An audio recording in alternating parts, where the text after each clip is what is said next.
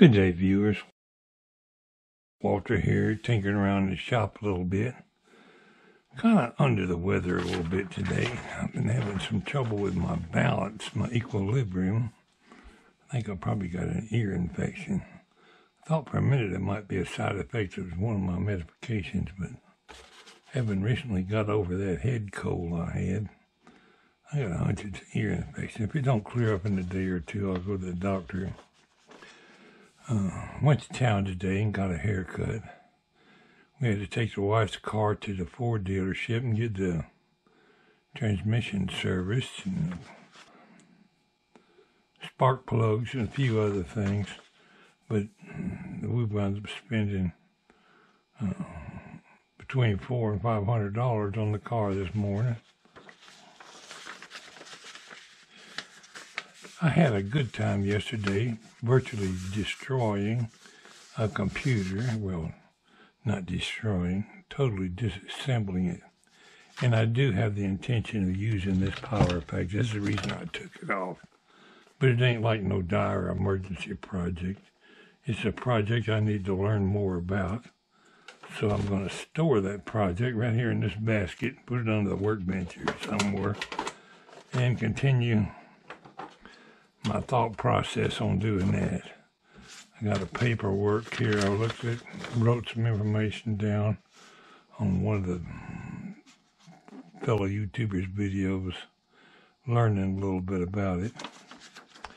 I did learn uh, some Russian guy doing making a power supply out of one of these things pointed out that some of these power supplies need to, to put a load on them uh, to make it come on and work right.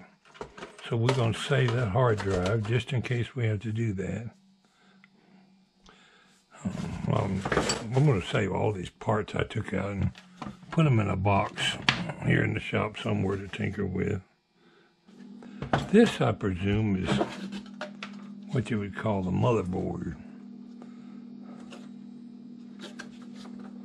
Still got memory chips sticking in it over here.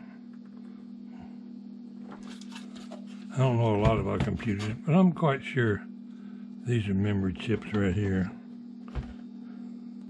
Never know, I, mean, I might need a diode or capacitor or something one day. And I can strip it off there. It's just something to play with. So that'll go in the box. This stuff will all go in the box, and that other junk over there will wind up back in the trash bin. So basically, I'm just clearing off the workbench today. Let's see, I need this power cord. Oh, so I got other projects I could be working on. Mostly I'm just goofing around today, not doing a whole lot of anything except cleaning up the workbench. All right, what I will do today is do a, just a little bit on what's in the box. We're going to start right here today, do a little something on what's in the box.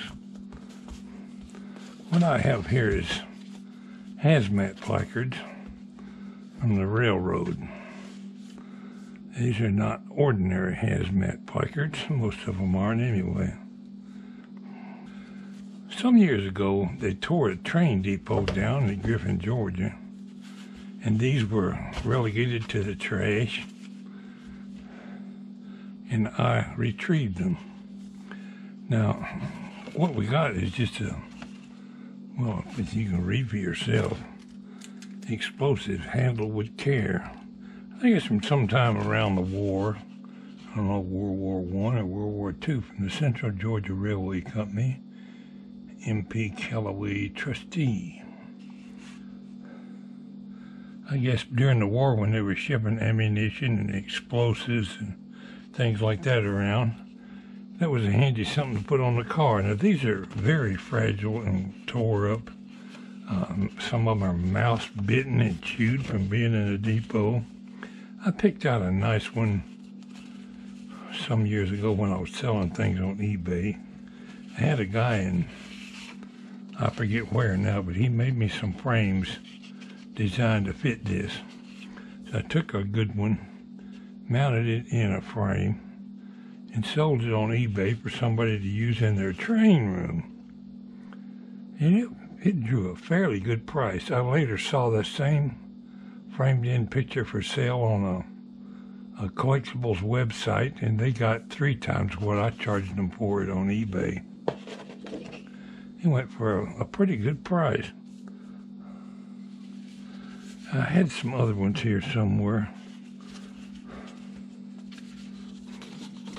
These are normally put on the side of a car.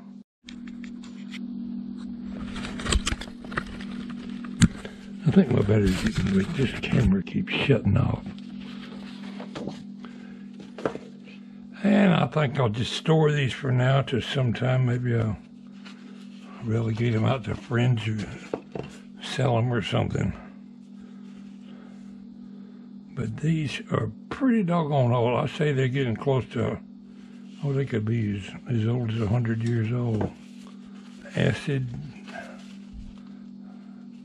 affected them over the years and they're real fragile and break. But it's just something from the Central Georgia Railroad that I thought was too good to throw away. So I'm going to file them here somewhere in one of these. I might even mount one on the wall somewhere. But I'm going to put those away. I had some heavy stuff on top of them and it's breaking them up. That's all I got to show you on what was in the box today. Keep lights and fires away. Dangerous. Handle carefully. This car must not be next to a car containing explosives. Avoid contact with acid, corrosive liquid. Beware of fumes or vapors. Southern Railway System. That makes it valuable right there. Southern Railway System. You won't see any more of those. Nowadays, with the hazmat placard, they would have numbers and stuff on them. The form number 861.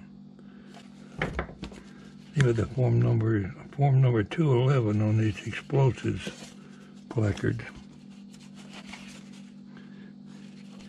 Anyway, thanks for tuning in today. This be Walpar saying, y'all have a good day.